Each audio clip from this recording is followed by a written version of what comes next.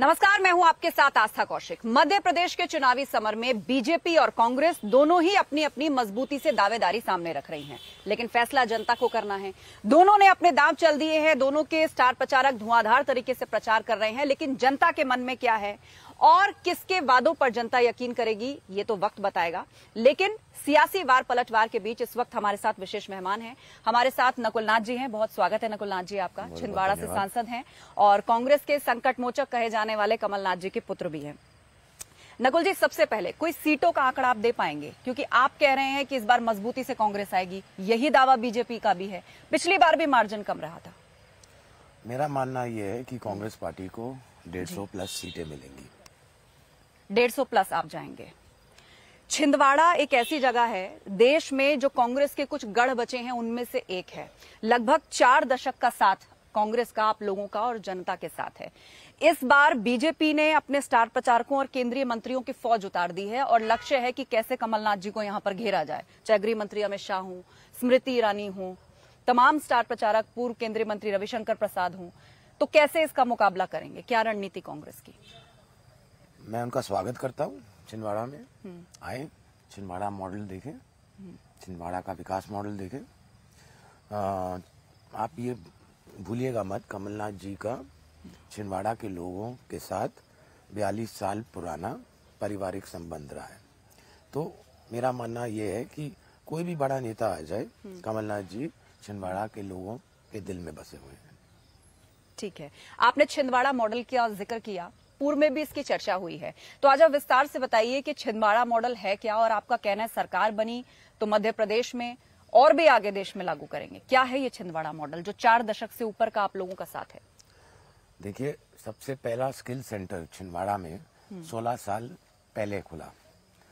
मोदी जी का जो नारा है स्किल इंडिया ये तो पाँच साल पुराना नारा है। तो हमने तो 16 साल पहले यानी कि हम लगभग 11 साल आगे हैं भारतीय जनता पार्टी से। यहाँ रेमंड की फैक्ट्री लगी हि- हिंदुस्तान यूनिलीवर की फैक्ट्री लगी। आप यहाँ के सड़कें देखें सड़कों का जाल बिछा हुआ है छिंदवाड़ा में। हम्म, मेरे सांसद बनने के बाद मैंने छिंदवाड़ा यूनिवर्सिटी चालू की थी जिसकी आज राशि भारतीय जनता पार्टी ने रोक दी है। हमारा super speciality hospital medical college का बनना था उसकी राशि उन्होंने कम कर दी।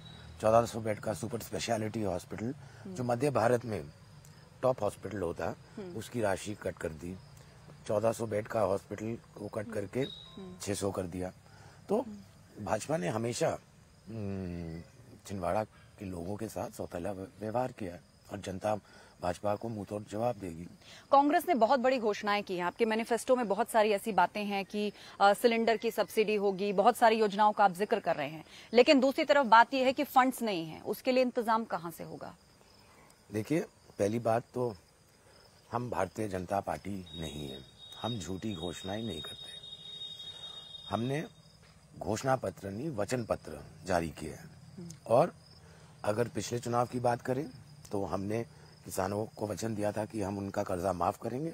हमने माफ़ किया। पंद्रह महीने में सत्ताईस लाख किसानों का कर्जा हमने माफ़ किया।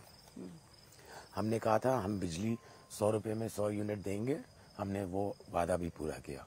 हमने महिलाओं को कहा था कि हम पेंशन की राशि बढ़ाएँगे। हमने वो वादा भी पूरा किया था। कन्यादान की राशि बढ़ाएँगे। हमने वो वादा भी पूरा किया था। तो जो जो वादे पंद्रह महीने में हम पूरे कर सकते थे, हमने पूरे किए। और जनता कांग्रेस पार्टी पे कमलनाथ जी पर विश्वास करती है। वो जानते हैं कि जब कमलनाथ जी कुछ कहते हैं, वो करते हैं। और वो वचनबद्ध है वचन निभाएँगे। आपने वचनों की बात की लेकिन हम मध्य प्रदेश की पॉलिटिक्स में देख रहे हैं कि चुनावी मैदान में राम का भी खूब ज़िक्र हो रहा है सनातन का भी ज़िक्र हो रहा है हनुमान का भी ज़िक्र हो रहा है। जब वादे और दावों की कसौटियों पर सब पक्के हैं तो उसकी क्या ज़रूरत पड़ी और राम नाम का इस्तेमाल कौन कर रहा है? भारतीय जनता पार्टी कर रही है। असली मुद्दे पर तो वो बात नहीं करना चाहते महँगाई पे बात नहीं करना चाहते बेरोजगारी पे बात नहीं करना चाहते। वो हमेशा धर्म को राजनीतिक मंच पे लाते हैं। कांग्रेस कभी धर्म को राजनीतिक मंच पे नहीं लाती। लेकिन कमलनाथ जी बाबा बागेश्वर के यहाँ पर भी गए। आपने एक हनुमान प्रतिमा भी स्थापित करवाई है उसको भी हमने देखा यहाँ पर। तो राम हनुमान तो दोनों तरफ़ से हो रहा है। देखिए यह हमारी आस्था है। और छिंदवाड़ा की जनता की बड़े दिनों से मांग थी कि यहाँ एक बागेश्वर धाम जी का कथा हो। और हमने तो एक साल पहले उनसे निवेदन किया था कि आप छिंदवाड़ा आइए। तो अब अब मैं क्या करूँ अगर उनकी डेट चुनाव से थी तीन चार महीने पहले उन्होंने डेट दी। केंद्रीय मंत्री और एक और, जी और जी। एक और बात मैं स्पष्ट करना चाहता हूँ। जो हनुमान मंदिर आप देख के आए हैं ये नौ साल पहले जब कोई चुनाव नहीं थे। 2014 2014 दो हज़ार तेरह चौदह में अ, ये मंदिर की स्थापना हुई थी। उस टाइम कोई चुनाव नहीं थे। उस टाइम क्या हम कम हिंदू थे और अब हम ज़्यादा हिंदू हैं। ये हमारी आस्था की बात है। केंद्रीय मंत्री स्मृति ईरानी भी छिंदवाड़ा आई और उन्होंने कहा कि जो पार्टी या जो लोग राम सेतु के अस्तित्व को नहीं मान रहे थे आज वो राम मंदिर और राम की बात कर रहे हैं। देखिए राम मंदिर की बात भारतीय जनता पार्टी करती है। उनकी जब पहली बार सरकार बनी थी तो उन्होंने राम नाम लेके सरकार बनाई थी। और अब फिर 2024 से पहले ये राम मंदिर की बात कर रहे हैं। मुख्यमंत्री योगी आदित्यनाथ भी स्टार प्रचारक हैं। वो भी मध्य प्रदेश में जनसभाएँ कर रहे हैं। वो उत्तर प्रदेश के बुलडोजर का भी यहाँ ज़िक्र कर रहे हैं। डबल इंजन की सरकार का भी ज़िक्र कर रहे हैं। और ये भी कहकर गए कि कांग्रेस समस्या का नाम है और बीजेपी समाधान। वो कुछ भी कहे। उन्होंने महँगाई की बात करी। उन्होंने बेरोजगारी की बात करी। नहीं करी। ये पब्लिक को गुमराह करने और ध्यान मोड़ने की राजनीति है। महिलाओं का भी एक बड़ा कार्ड बीजेपी खेल रही है। इसकी क्या कार्ड कांग्रेस के पास है? लाडली लक्ष्मी योजना, लाडली बहना योजना।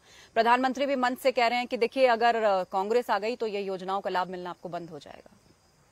सबसे पहले तो कांग्रेस पार्टी नारी सम्मान योजना लाई थी।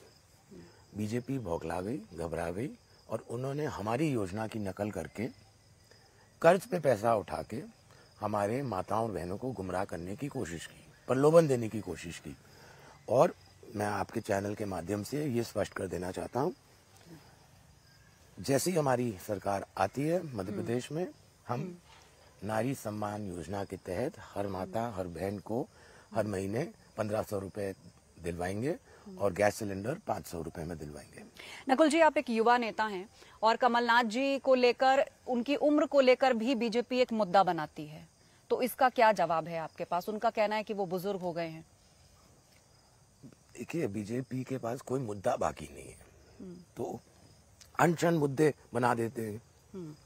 मध्य प्रदेश को लेकर आपका विजन क्या है? आप एक युवा नेता हैं आप युवाओं की बात करते हैं आप स्पोर्ट्स को बहुत प्रमोट करने की बात करते हैं। क्या विजन है आपका? देखिए मैं तो चाहता हूँ मैं छिंदवाड़ा की बात करता हूँ। अ, क्योंकि मैं सांसद छिंदवाड़ा से हूँ। मैं चाहता था कि छिंदवाड़ा एक एजुकेशन हब बने एक मेडिकल हब बने और स्पोर्ट्स हब हब भी बने मैंने शुरुआत की सांसद क्रिकेट कप की। इससे यूथ जुड़ता है। तो क्योंकि मैं युवा हूँ मैं युवाओं के बारे में भी सोचता हूँ। आपने ये भी घोषणा की कि मध्य प्रदेश की हम आईपीएल टीम बनवा देंगे। आपने युवाओं से सुझाव मांगा कि उनका ये नाम कमलनाथ जी के वचन पत्र में है और नाम जहाँ तक नाम का सवाल है मैंने मध्य प्रदेश की जनता से सुझाव मांगे हैं मुझे अच्छा नाम बताइए। आपने एक और घोषणा की आपने तारीख बता दी कि कमलनाथ जी ही बनेंगे मुख्यमंत्री और किस डेट को वो शपथ लेंगे? मैंने सात तारीख का है। हम्म। तीन तारीख को आपको स्थान और समय भी पता लग जाएगा। अच्छा सनातन को लेकर कमलनाथ जी पर भाजपा सवाल खड़े करती है। उनकी हनुमान भक्ति पर भी सवाल उठाए जाते हैं। मैंने जैसा कि आपको अभी कहा नौ साल पहले हमने हनुमान जी की मंदिर की स्थापना की थी। हम उस टाइम भी हनुमान भक्त थे अब भी हनुमान भक्त हैं। कहा जा रहा है कि कांग्रेस के अंदर गुटबाजी है। दिग्विजय सिंह और कमलनाथ जी दोनों को लेकर कुछ वीडियोस भी वायरल होते हैं एक दूसरे के बयान को भी लेकर होते हैं ऐसे में बीजेपी चुटकी लेती है। और ये माहौल बनाने की कोशिश की जाती है कि देखिए यहाँ पर कई चेहरे हैं पार्टी में एकता नहीं है। मैं स्पष्ट कर देना चाहता हूँ। एक ही चेहरा है और वो है कमलनाथ जी अ, का चेहरा। कमलनाथ जी और दिग्विजय सिंह जी की दोस्ती बहुत पुरानी है। पैंतीस चालीस साल पुरानी दोस्ती रही है उनकी। महिलाओं को लेकर जो बड़ा दाव है उसमें विमेन रिजर्वेशन बिल को पास करवाया गया। उसकी बात अब देश में हो रही है। और स्टेट लेवल पर भी महिलाओं से जुड़ी हुई बहुत सारी घोषणाएँ सरकार की चल रही है। तो इसका जवाब कांग्रेस कैसे देगी? क्योंकि मान के चल रहे हैं कि मध्य प्रदेश का चुनाव है उसके बाद तुरंत लोकसभा चुनाव में जाना है। देखिए ये जो संसद में इन्होंने विमेन्स रिजर्वेशन बिल जो पास किया है ये अगले चार पाँच सालों तक लागू नहीं होगा। पहले तो कास्ट कंसेंसस कराने की बात है। वो अभी नहीं करा रहे। तो विमेन्स रिजर्वेशन एक मेरा मानना है इलेक्शन गिमिक है। आईएनडीआईए जो गठबंधन बना है एनडीए को टक्कर देने के लिए बहुत सारी ऐसी पार्टियाँ हैं जिनके नेताओं ने सनातन को लेकर बयान दिए हैं जिसकी देश में खूब चर्चा हुई और उसकी आलोचना भी हुई। और कांग्रेस को घेरा गया कि अब क्या कार्रवाई होगी ऐसे नेताओं पर ऐसे दलों पर। कांग्रेस पार्टी ने तो कभी सनातन धर्म के बारे में कुछ नहीं कहा। अगर इंडी अलायंस के किसी मेंबर ने सनातन धर्म के बारे में बोला है तो और मैं ये स्पष्ट कर देना चाहता हूँ इंडी अलायंस अ, 2024 को देखते हुए ये अलायंस किया गया था। स्टेट चुनाव के लिए नहीं। तो क्या यही वजह है कि समाजवादी पार्टी के साथ सामंजस्य नहीं बैठ पाया मध्य प्रदेश में? नहीं सामंजस्य ना बनने की या बनने की कोई बात नहीं है। अ, उनको सीटें चाहिए थी जहाँ हमारे प्रत्याशी स्ट्रांग थे ताकतवर थे। नंबर ऑफ़ सीट्स पे कभी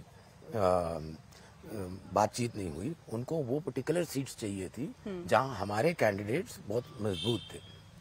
आपने हाल ही में समाजवादी पार्टी के एक उम्मीदवार को अपनी पार्टी में मिला लिया। चुनावी मौसम में गठबंधन दल के साथ इस तरह का जेस्चर आपको लगता है सही संदेश जा रहा है इससे?